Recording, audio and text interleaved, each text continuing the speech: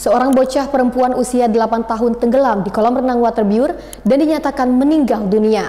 Polres Tebo sedang melakukan penyelidikan terkait hal ini dan akan memanggil pemilik usaha dan sejumlah saksi.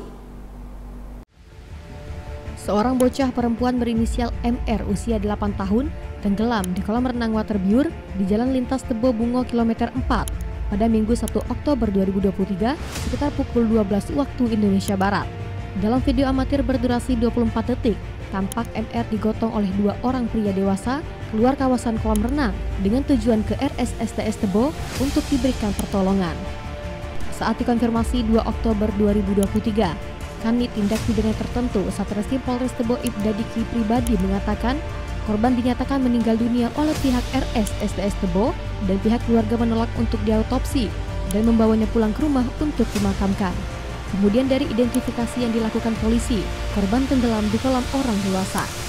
Untuk itu, Polres Tebo sedang penyelidikan dan akan memintai keterangan kepada pemilik usaha, penanggung jawab di kolam renang, dan juga saksi-saksi lainnya. Anak tersebut datang bersama orang tuanya, datang berkunjung eh, dan bermain ke tempat wisata kolam renang. Cuman pada saat jam pukul 12 siang, mungkin anak tersebut ditemukan sudah tenggelam di kolam dewasa.